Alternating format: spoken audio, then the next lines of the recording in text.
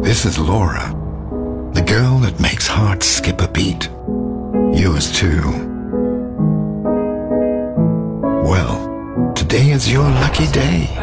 Your weather bring me a sky You know what to say. so bright I can't open Come on, ask her to have a drink. She won't say no. And then, nothing, because you forgot your wallet. You idiot.